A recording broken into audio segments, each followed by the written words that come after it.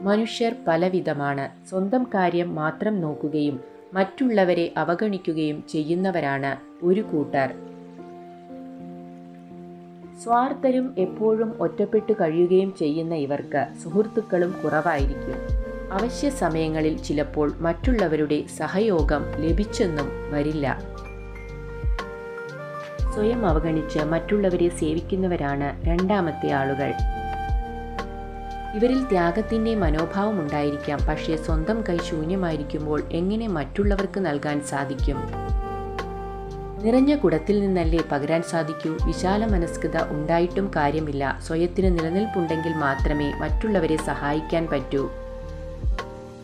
ഇനി മൂന്നാമത്തെ കൂട്ടരാണെങ്കിൽ സ്വയം അവഗണിക്കുകയും മറ്റുള്ളവരെ അവഗണിക്കുകയും ചെയ്യുന്നവരാണ്. ഇക്കൂട്ടർ പൊതുവെ അലസന്മാരായിരിക്കും എപ്പോഴും മറ്റുള്ളവരെ ആശ്രയിക്കുന്നവരുമായിരിക്കും. സ്വയത്തിന് വില കൽപ്പിക്കാത്തവർ എങ്ങനെ മറ്റുള്ളവരെ വിലമതിക്കും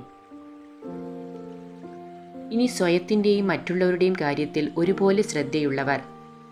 ഇവർ ജീവിതത്തെ ഉത്തരവാദിത്വ ബോധത്തോടെ നോക്കിക്കാണുന്നവരാണ്. നന്മ സ്നേഹം കരുണ ത്യാഗം തുടങ്ങി ഈശ്വര ഗുണങ്ങളാൽ സമ്പന്നരുമായിരിക്കും. ഈശ്വരീയ ഗുണങ്ങൾ നിറഞ്ഞ വ്യക്തിത്വം മറ്റുള്ളവരെ ഇവരിലേക്ക് ആകർഷിക്കുന്നു. ഒപ്പം ഇവരെ നിരവധി പേരുടെ ആശീർവാദങ്ങൾക്ക് പാത്രമാക്കുകയും ചെയ്യുന്നു. നമ്മുടെ സംസ്കാരത്തെ സ്വയം ചെക്ക് ചെയ്യാം.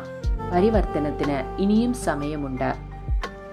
ഈശ്വരീയ ഗുണങ്ങളെ ധാരണ ചെയ്യൂ. ആശീർവാദങ്ങൾ ഭാഗ്യത്തിൽ ശേഖരണമാകട്ടെ. ഉന്മേഷത്തോടെ ഉണരാൻ എല്ലാവർക്കും ശുഭരാത്രി ആശംസിക്കുന്നു.